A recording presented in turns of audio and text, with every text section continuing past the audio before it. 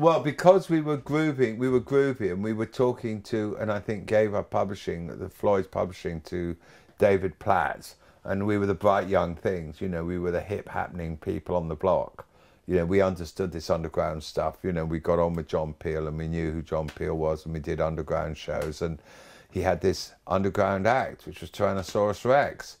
You know, Denny Cordell, whom I hadn't known before then, Visconti was doing it, and and you know, David said, maybe you should manage this band. That we, I, we, you know, because he had the label, he was doing the label, and he wanted someone to take care of them. And so that's how we became involved with Tyrannosaurus Rex, and uh, that, of course, also made us kings of the underground. The thing was that why why we lost T- Tyrannosaurus Rex was because Marc started going out with June Child, who was uh, our, our assistant. Andrew's and my assistant, stroke secretary, and we got a bit you know, we didn't really like the fact that he would be coming in and sitting on her lap, you know, and we say, no, come on, you can't do this. You know, this is really un- uncool. We're trying to run a business here, you know, and I know we can have the odd joint, but you know.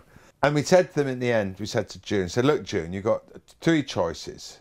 You know, we're pretty easy on this, you, but you can either go off and live with Marc and, and be cuddlesome, or you can stay working here and work for Marc you know, in other words, be Marc's person under our thing, uh, and or number three, um, you know, you, you you can just go on working for us and, and, and not work with Marc and, and have your own life and go and visit him. But what we can't have is, you know, you come in having Marc sitting on your lap uh, all the time. You know, this is really uncool.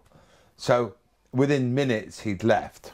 Now, then, before that, I'd already talked to Marc and said, "Look, Marc, you know, you're doing really well. You're doing these shows with with with uh, Peel and things, and, and it's going very well. And your first album's doing quite well. And the problem is, you're sitting cross-legged on the floor with a acoustic guitar with a microphone, and you're trying to get monitors so you can hear yourself sing and play, but they're feeding back because you know you're just using an ordinary Shure mic and a thing, an acoustic guitar, and it's feedback nightmare. So people can't hear you.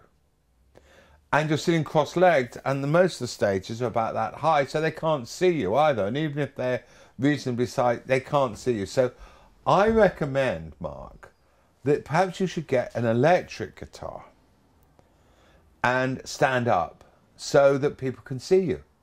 You know, it would make an awful lot of difference. It will really help.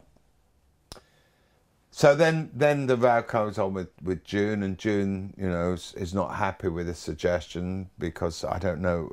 And I, a note comes in, which to this day I'm really upset I never kept. But it was a note with on a tiny sort of torn out bit of paper by Marc saying, uh, "Dear Peter, I'm, we're leaving. I'm leaving you Blackhill because you started to interfere with my creative work by suggesting I should go electric. It was more cutely phrased and short than that. But basically, I was accused of getting him to go electric and, and you know, getting involved in. Three months later, he was riding a fucking white swan.